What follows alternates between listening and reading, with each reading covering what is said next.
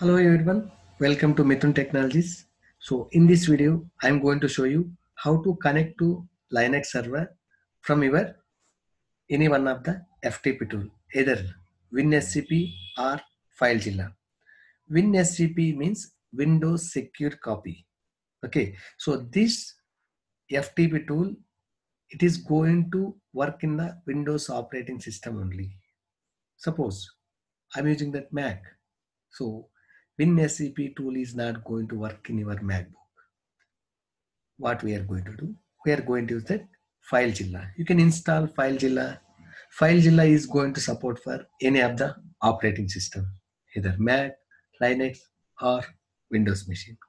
So now in this video, I'm going to show you okay how to connect to this particular Linux server from your WinSCP and FileZilla. So already I have installed these FTP clients in my Windows machine. Okay, so now I will show you how to connect to this server.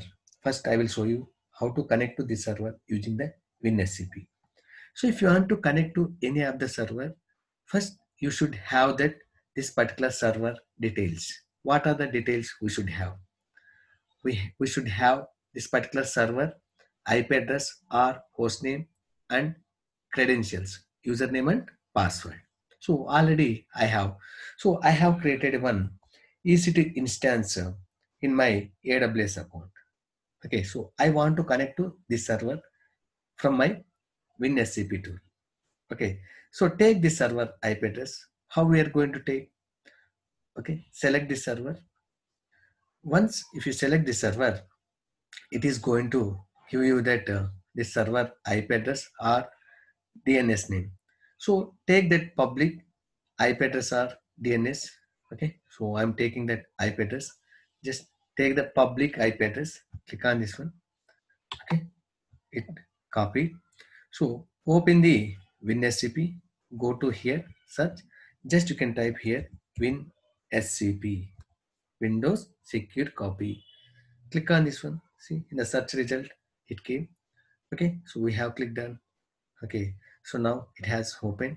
So just give that uh, here in the input box uh, IP address or hostname and uh, give the username. So already I know the username. In this server one user is there called as Mithun. And password. So this particular user password you have to give. So I think already you have that password. Take this one and the port number is by default SFTP port number will be 22 and click on login. Okay. So once we click on login so automatically it is going to successfully connect. See right side whatever you will see this window it will represent that the remote server file system means your uh, linux server file system. Left side whatever you will see this file system this is your local file system in your uh, laptop it is there. Suppose i want to copy the file from my laptop to the server. So what you will do? So first go to that particular folder where you have to which file you want to copy. So i want to copy any one of the document from here. So what you will do? I want to upload this uh, document from my laptop to this particular server. Okay? So just select this one and drag and drop to right side window. So automatically it is going to upload. See, now we can able to see. So if you want to download, same way, just you can select this one and you can drag and drop to left side. So automatically it is going to download, download into your server. Okay. So in the this way we can able to connect to the server using the any FTP tool and you can upload the files and you can download the files.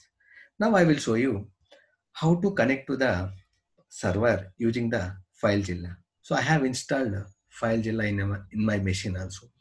So just search with FileZilla, okay, and open the FileZilla. I have already installed, that's why I can able to see these things. Okay, so here you will see that host name. Just give that server IP address or host name. Give the username. Okay, close it this one. Give the username what is the username? Mithun. Password. Password is a whatever the password you have, you can give that. And what is the port number? 22. Okay, and click on quick connect. Okay, so it is going to connect. So click on OK. See, you have successfully connected. Yes or no? You can see. See, already we have uploaded this file from our laptop using the WinSCP, right? You can able to see that files now. So if you want to download from left uh, right side to, you can drag to the left side. From here, you can change the passwords, uh, the permissions also. See right now, for these files, read, write, read, write.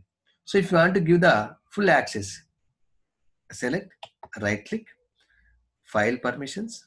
So here you can select, okay, whatever the permissions you want. See, I have selected all, read, write, execute for owner, group, read, write, execute for others, read, write, execute. That's why 7, 7. If you click on OK, so it is going to. So using the chmod command, you can change the permissions. Directly you can log in into through any of the FTP tool and you can change the permissions also. Okay. So if you have any questions regarding to any of DevOps related or any other technologies, please reach out to this number or this mail ID so that we are going to help you. Please subscribe my YouTube channel. So just you can search with Mithun Technologies DevOps. You will see that one channel. Please subscribe to my YouTube channel. Thank you.